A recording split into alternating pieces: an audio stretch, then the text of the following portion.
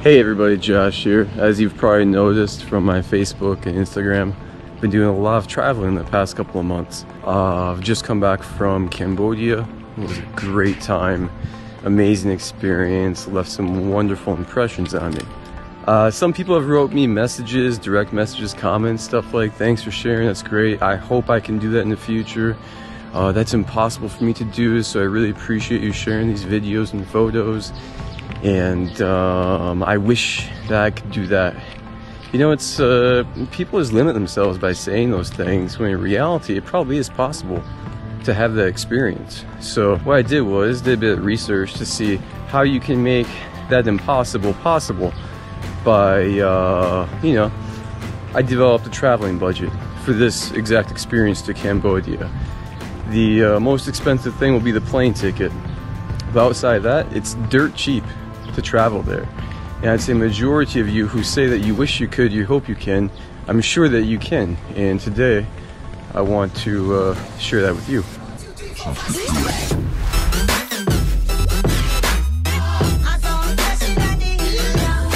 All right, so here we are. We're gonna go over daily expenses, accommodation prices, and all that good stuff right now. I usually use Booking.com and Airbnb when I travel. However, something to do is when you find that hotel on booking.com, for example, it's always good to go to the hotel's website itself due to the fact that it might be cheaper directly through the hotel because a third party service quite often charges some type of commission fee that might come out of your pocket, maybe comes out of the hotel pocket, but better off to check and save yourself a few more dollars, right?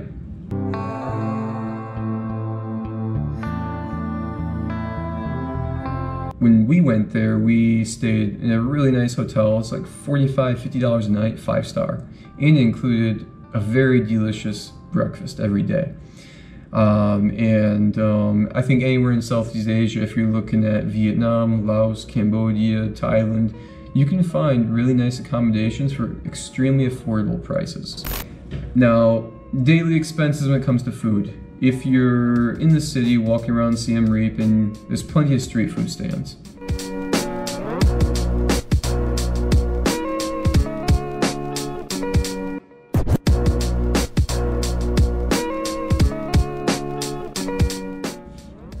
Any street food stand you go to, you want a lunch, it's a dollar. You want a water, it's a dollar. You want a beer, it's a dollar. Pretty much everything from street vendors costs a dollar a piece there.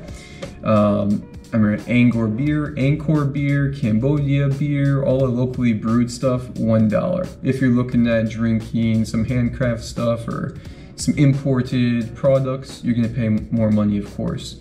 Also, if you decide to eat three times a day in a restaurant or cafe, you'll expect those expenses to blow up, right? I mean, you're looking at a dollar for a drink and a dollar for a dish from a street food stand. In a cafe or a restaurant, you're gonna pay at least five to six dollars.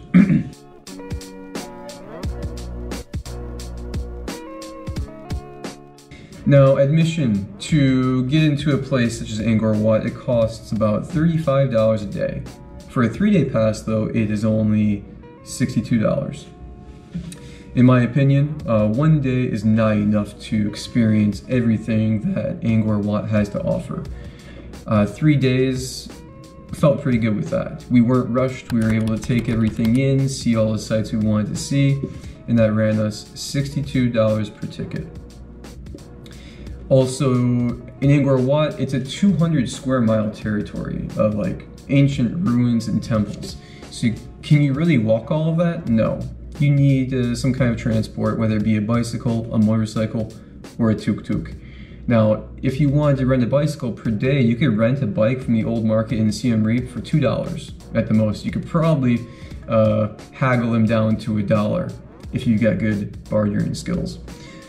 If you wanted to go by motorbike, you'll pay about $8 per day and uh, we took a tuk-tuk and that cost anywhere between 20 to 25 dollars per day. So on a three-day pass that's an, another 75 dollars you will end up paying. But it was great because the driver himself he's some kind of guide. He's a local person uh, speaks english and it's uh, it's good to be able to get acquainted with a local and understand uh, their mentality, their perspective, their opinions of the places. And they uh, give you a free bottle of water too, so we didn't have to pay for all the extra water there. Came straight from him, and you need to drink a lot of water while you're there because it's extremely hot. Okay, so now we're going to take a look at airfare prices and uh, summarize our expenses for a trip to Southeast Asia. Now the most expensive item on your list is going to be your airfare cost by far. Um, I estimate anywhere between 450 to $600 for a flight from, let's say, Chicago to Southeast Asia. Uh, maybe a bit cheaper if you're in the west coast. Now, in order to uh, get the cheapest flight, probably look at flying by low costers domestically or maybe even internationally. It's not as comfortable, not as much leg room, but you can save uh, quite a bit of money doing that, right?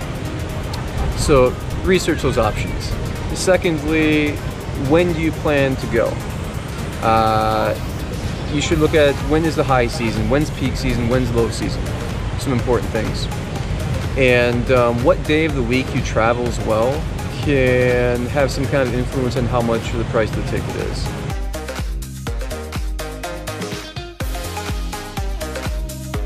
Uh, so play around with that. Use uh, maybe Momondo, Skyscanner, search the internet, and uh, yeah, just do some research. Simple as that. So to wrap things up, let's say we'll say $500 for your airfare. Uh, five nights in a hostel in Siem Reap is going to run you $50. Uh, let's say $100 if you want more privacy, more money for a better hotel, right? and uh, food for five or six days there it's going to run you anywhere from 50 to 80 dollars motorbike transportation for three days in the angkor wat complex will run you about 30 dollars so we're looking at roughly 750 to 800 dollars for a five or six day experience in cambodia. Now of course if you want a more comfortable experience a nicer hotel eating in cafes and restaurants uh, we should probably tack on extra maybe $200 so we could say a thousand thousand dollars. Could probably do it for less. Uh, now you don't have the money for this right? So what do you do? Uh, you gotta save uh, how can we save some money for this experience? First of all you can probably start eating in more not eating out at restaurants and cafes three or four times a week. Cooking for yourself really does save a lot of money. Uh, secondly taking a few nights off of the bars and, and clubs on the weekends, you can easily save $150 uh, a month by doing that. Look at a long-term plan, uh, save up some money for, you know, seven months, eight months, and uh, make this I can't, I wish I could, make it reality for yourself. If you have any questions, uh, just want to talk about traveling or anything with me, feel free to hit me up on my Instagram, my Facebook, uh, or by email, and I'll be happy to discuss things further with you. Take it easy.